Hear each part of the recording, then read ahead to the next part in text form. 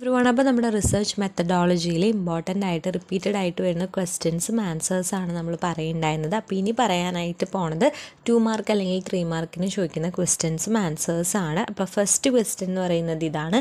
What is a footnote explain the purpose of stating footnotes എന്താണ് footnote എന്ന് പറഞ്ഞു കഴിഞ്ഞാൽ? അല്ലെങ്കിൽ എന്താണ് ഫുഡ് നോട്ട് നമ്മൾ സ്റ്റേറ്റ് ചെയ്യുന്നതിന്റെ പർപ്പസ് എന്തിനു വേണ്ടിയിട്ടാണെന്ന്. അപ്പോൾ ഫുഡ് നോട്ട് എന്ന് പറഞ്ഞു കഴിഞ്ഞാൽ എന്താവാം?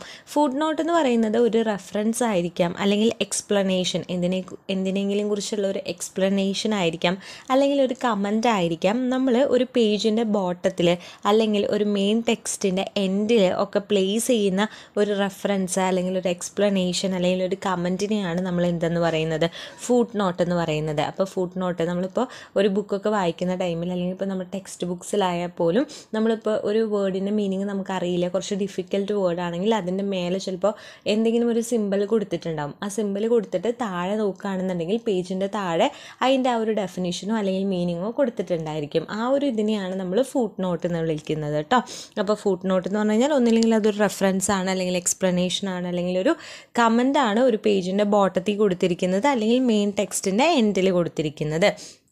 അതാണ് ആ ക്വസ്റ്റ്യൻ നെക്സ്റ്റ് ക്വസ്റ്റ്യൻ എന്ന് പറയുന്നത് റിസർച്ച് റിപ്പോർട്ട് ഫോർമാറ്റാണ് ഒരു റിസർച്ച് റിപ്പോർട്ട് നമ്മൾ പ്രിപ്പയർ ചെയ്യുമ്പോൾ അതിനൊരു ഫോർമാറ്റ് ഉണ്ട്. ആ ഒരു ഫോർമാറ്റ് നമ്മളോട് വേണമെങ്കിൽ ചോദിക്കാം. അത് ചിലപ്പോൾ എന്താണ് സിക്സ് മാർക്ക് അല്ലെങ്കിൽ ഫൈവ് മാർക്കായിട്ടോ അല്ലെങ്കിൽ എസ് സി ആയിട്ട് വരെ ചോദിക്കാൻ ചാൻസ് ഉണ്ട്.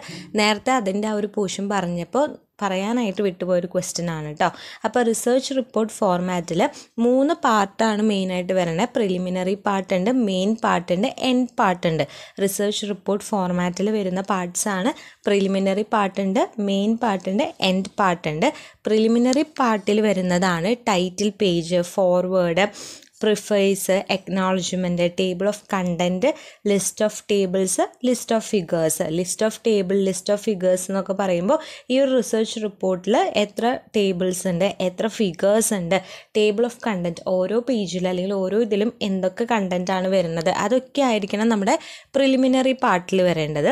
നെക്സ്റ്റ് മെയിൻ പാർട്ടിൽ എന്തൊക്കെയാണ്? അബ്സ്ട്രാക്റ്റ് ഉണ്ടായിരിക്കണം ഇൻട്രൊഡക്ഷൻ ഉണ്ടായിരിക്കണം മെത്തഡോളജി ഉണ്ടായിരിക്കണം റിസൾട്ടും ഡിസ്കഷനും ഉണ്ടായിരിക്കണം കൺക്ലൂഷൻ ഉണ്ടായിരിക്കണം.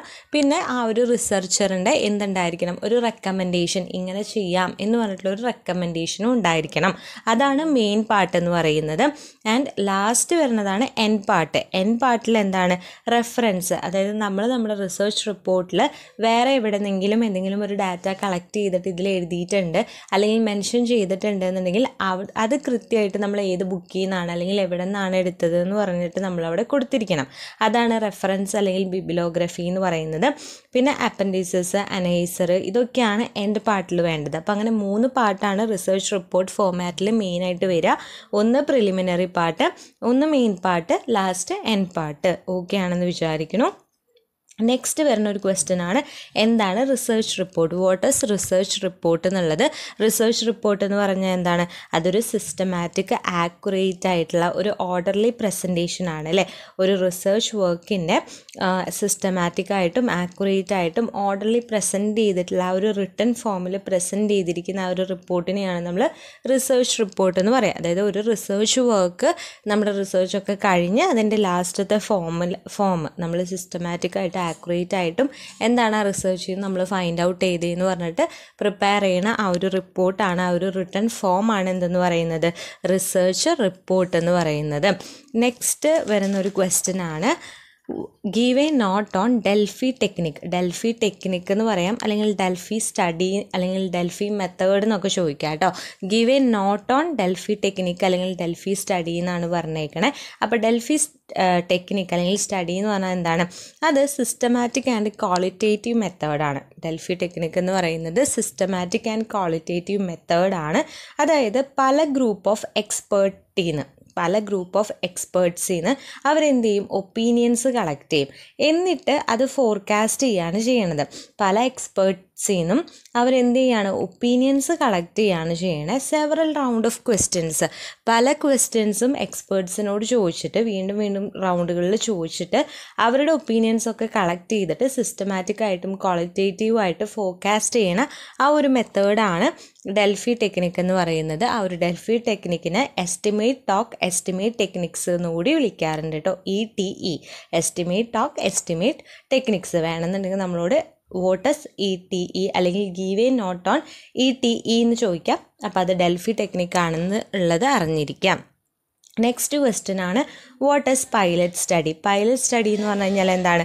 സ്മോൾ സ്കെയിൽ പ്രിലിമിനറി ഇൻവെസ്റ്റിഗേഷൻ ആണ് അല്ലേ? What is pilot study pilot study എന്ന് പറഞ്ഞാൽ എന്താണ്? It is a small scale preliminary investigation to determine the feasibility of a large study അത് ഒരു സ്മോൾ സ്കെയിൽ ആയിട്ടുള്ള പ്രിലിമിനറി ഇൻവെസ്റ്റിഗേഷൻ ആണ്. എന്തിനു വേണ്ടിയിട്ടാണ് ഇൻവെസ്റ്റിഗേഷൻ ചെയ്യണേ? ലാർജ് സ്റ്റഡിയുടെ ഫീസിബിലിറ്റി ഡിറ്റർമൈൻ ചെയ്യാനായിട്ട് നടത്തുന്ന ഒരു സ്മോൾ സ്കെയിൽ പ്രിലിമിനറി ഇൻവെസ്റ്റിഗേഷൻ ആണ് എന്തെന്ന് പറയണേ? പൈലറ്റ് സ്റ്റഡി എന്ന് പറയുന്നത്. അപ്പോൾ ഇത്രയും പറഞ്ഞത് ഓക്കെയാണ് ക്ലിയർ ആണെന്ന് വിചാരിക്കുന്നു. ഇതൊക്കെ നമ്മൾ ത്രീ മാർക്ക് ക്വസ്റ്റ്യൻ അല്ലെങ്കിൽ ടു മാർക്ക് ക്വസ്റ്റ്യൻ ഒക്കെ ആയിട്ട് ചോദിക്കുന്നതാണ് കേട്ടോ. ഇതിൽ ആ റിസർച്ച് റിപ്പോർട്ട് ഫോമാറ്റ് മാത്രമാണ് കുറച്ച് വലുതായിട്ട് ചോദിക്കുകയാണെന്നുണ്ടെങ്കിൽ ഉണ്ടാവുള്ളൂ. കുറച്ചുകൂടി ത്രീ മാർക്ക് ക്വസ്റ്റ്യൻസ് പറയാനായിട്ടുണ്ട്. അത് നമുക്ക് നെക്സ്റ്റ് വീഡിയോയിൽ പറയാം. അപ്പോൾ ഈ ഒരു വീഡിയോ യൂസ്ഫുൾ ആയെന്ന് വിചാരിക്കുന്നു. യൂസ്ഫുൾ ആയിട്ടുണ്ട് മനസ്സിലായിട്ടുണ്ടെന്ന് വിചാരിക്കുന്നു. വീഡിയോ യൂസ്ഫുൾ ആയിട്ടുണ്ട്. ഇനി ഇതുപോലത്തെ ഇമ്പോർട്ടന്റ് വീഡിയോസ് കിട്ടണമെന്നുണ്ട് നമ്മുടെ ചാനൽ ഇതൊരു സബ്സ്ക്രൈബ് ചെയ്തിട്ടില്ല എന്നുണ്ടെങ്കിൽ ജസ്റ്റ് ഒന്ന് സബ്സ്ക്രൈബ് ചെയ്തേക്കുക പിന്നെ എന്തെങ്കിലും ഡൗട്ടോ സജഷൻസോ ഉണ്ടെങ്കിൽ കമന്റ് ബോക്സിൽ കമന്റ് ചെയ്യട്ടോ